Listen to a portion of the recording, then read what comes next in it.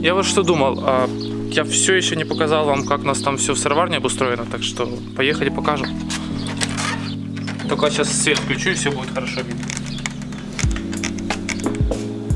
Если вкратце посмотреть, что у нас здесь сразу стоит. То есть справа от входа у нас небольшой шкафчик здесь стоит. Здесь можно э, переодеться. Э, вот в этом небольшом таком уголочке здесь. Э, также здесь несколько коробков стоит обычно, где мы храним тару. Другая на улице в коробках, те, что запечатаны. Здесь отдельно у нас стоит счетчик для того, чтобы знать, сколько мы ну, электроэнергии используем здесь на месте. Хотя мы просто потом отсчитываем от э, нашего общего, который идет на весь участок. Э, несколько автоматов для того, чтобы отдельно по частям переключать свет и включатель на светильнике. Э, дальше по ходу у нас идут два холодильника. Этот идет двухкомпрессорный, поэтому сейчас верхняя часть выключена, морозилка там просто для домашнего чего-то есть, потому что в доме только холодильник все не вмещает. А, сейчас мы холодильник здесь выключили на время съемки, чтобы он не гудел. А, а так, то в середине недели в нем обычно почти ничего нету, потому что он заполняется под конец недели, когда мы готовим всю продукцию. Но сейчас здесь просто стоит уже э, шевр, он на обдуве. А, после буквально уже под вечер я его вытяну и размещу на, э, просто на сеточку, где он будет э, храниться дальше. И два контейнера с кротаном, сейчас его немного, ну, по сути, потому что мы большинство козьего молока все равно перерабатываем на свежий продукт, и реально немного остается шевра для того, чтобы выпускать его под КРТ. Так что, и почему так расположено, э, холодильник э, дует все сверху, здесь прохладнее, здесь потеплее, поэтому я его вниз ставлю, как раз хорошее местоположение. Сегодня как раз э, мы сделали генералочку. Мы ее делаем где-то раз в месяц, так как мы здесь не очень много варим всего. Если мы здесь каждый день делали сыр, все, опять муха. Мухи самое страшное сыровары. Дальше, если вы только вот считайте зашли, да, сбоку, сбоку у нас небольшой стеллаж, он как бы разделяет двери от главной вот этой комнатушки. Здесь мы на нижнем этаже храним тару. Э, здесь там бумага, сверху миски, которыми не сильно часто пользуемся. А, ну, вот такой небольшой стеллаж, кстати, он недорого обошелся. Пока мы, конечно, его собирали, он был такой страшный, хитался, но когда собрали, то вполне неплохо работает. И немножко создает отдельную зону. Здесь у нас отдельный умывальник, в котором э, мы моем руки, дезинфицируем, вытираем для того, чтобы можно было в те моменты, когда ну, не обязательно в перчатках работать, э, то можно было быстренько в отдельном месте помыть руки и все. Э, вот. Э, здесь отдельно для бумаги у нас хранится мусорка. Бумагу мы используем потом для того, чтобы вот в печке растапливать. Именно, даже несмотря на то, что она влажная, она подходит нормально. Э, далее это комнатка, где мы в основном занимаемся уже фасовкой и упаковкой. Э, имеем э, двойную мойку. Удобно, потому что ну, удобно, что небольшие, удобно, что их две, потому что можно параллельно здесь там мыть, здесь полоскать по-разному. Здесь также, ну, кстати, Здесь у нас стоит шевр со вчерашнего вечера. Я сегодня где-то... Ну, из-за того, что была уборка здесь, то э, я его с утра не раскинул, я его где-то днем раскину. Ну, реально влиять на это не будет никак. Э, отдельно хранится... А, вот это назад. Отдельно у нас стоят здесь автоматы на э, бойлер, чтобы ну, можно было выключить его, включить, выключить. Так как у нас э, по электричеству здесь света мало, реально включается, если бойлер, чайник и плита, сейчас я тоже покажу, то начинает все проседать, поэтому некоторые вещи нужно выключать. И отдельно здесь стоит посудомоечка старенькая Bosch. А, ну, она хорошо справляется с тарой. Эта тара была помыта после рынка уже. А, и она здесь просто стоит э, приоткрытая. И потом уже перед э, использованием, то мы используем активно чайнички, кипяточек. Всю эту тару даем кипятком перед тем, как туда что-либо фасуем. В этом плюс использования именно стеклянной тары, потому что если пластик вы набирали когда-то водичку горячую, то ну, много баночек плавится. Вот такое.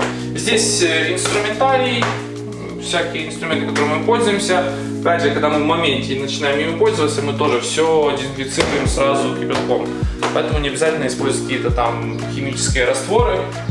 Снова-таки это возможно на нашем небольшом объеме. здесь... А, и удобное очень изобретение, ну не изобретение, а инструмент, который мы имеем.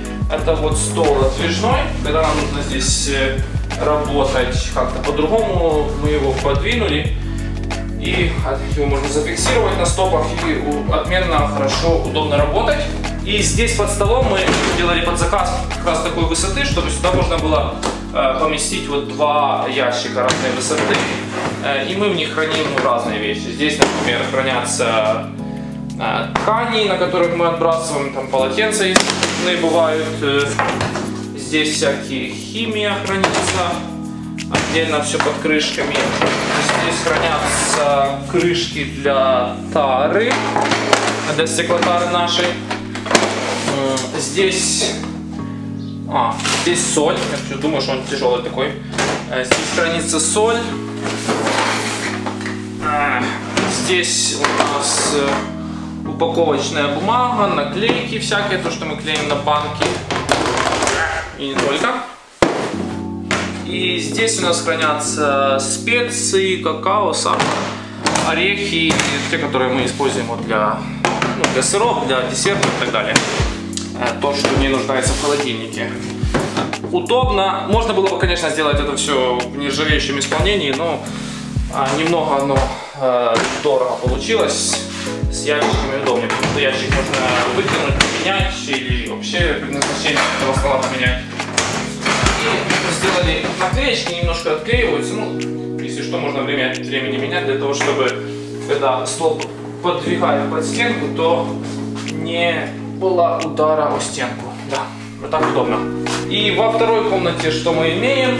Э, значит, сразу заходим вот здесь над печкой у нас штучка, где мы сушим э, наши ткани после того, как мы там сыры отбрасывали, йогурты и так далее. Э, печурку здесь мы не топим, но она там, когда мы делаем сыр, она немного прогревается.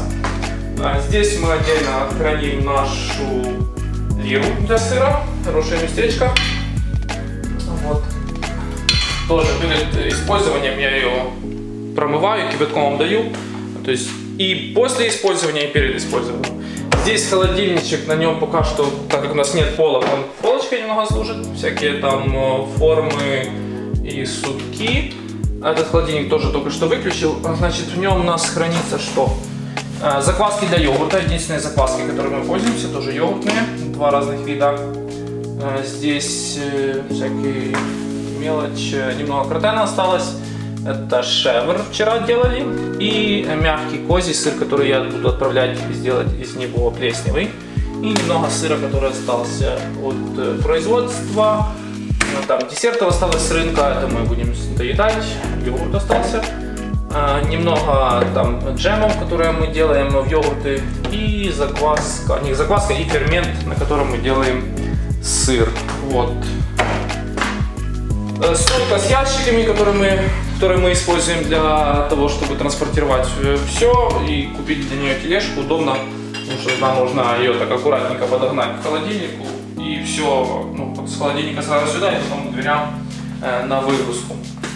Значит, это такое странное сооружение. Это мы здесь, э, здесь была столешница, мы ее просто отрезали, и если вернуться обратно, да, вот заметить, здесь э, она слишком закреплена, ну, без ножек. Она просто, если ниже опуститься, увидеть можно, как она закреплена просто на рейках и потом герметиком затянута. И таким же образом, э, и таким же образом и с той стороны.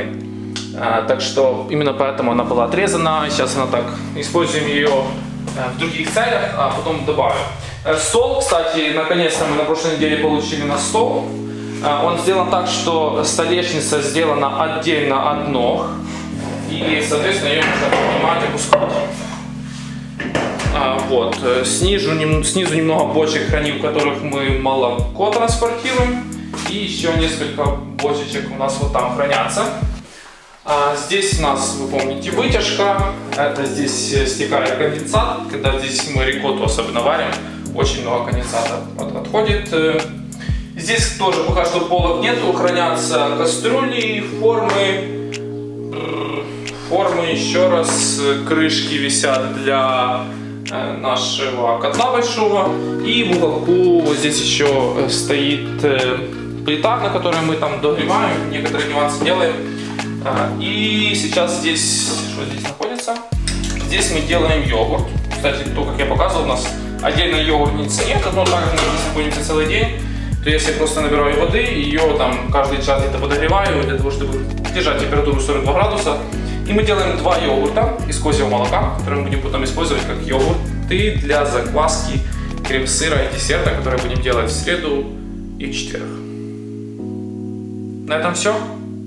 Если было интересно, ставьте лайк, делитесь с друзьями и подписывайтесь на канал, чтобы не пропустить новые видео.